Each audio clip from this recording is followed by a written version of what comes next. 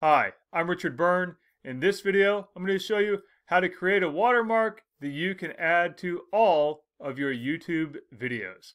Let's go ahead and take a look at how to do this. So I'm going to start in Canva at canva.com and I'm going to use a custom size because YouTube requires this watermark to be 150 pixels by 150 pixels. So we'll do 150 by 150 create our new design. And now we can create our watermark to look like anything we'd want it to look like.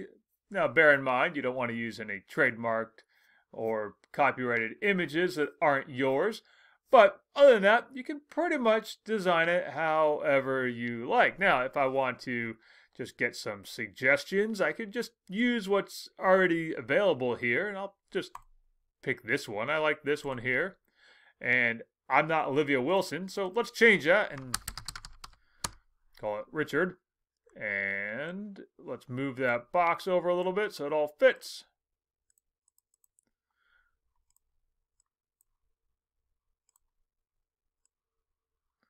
Here, I'll make it that size and put my last name in there. And now I'll move that back. And there we have it.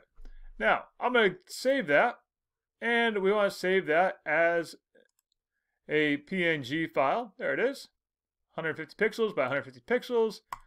Download it, and I'm going to save it on my computer. Now, let's go over to my YouTube channel. And under the customization tab for my YouTube channel, I can scroll down, and all the way at the bottom, we'll see video watermark. Let's go ahead and upload this one.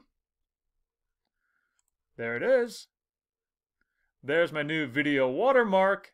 I'm going to add that into, and we'll see it now appears in the bottom right corner.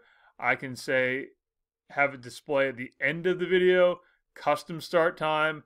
I can have it show over the entire video if I wanted to. But I'm just going to say end of the video for this one for now. And now let's publish it. And that's it. Now I have a watermark for all of my videos. So that's how you can create a watermark and add it to your YouTube videos.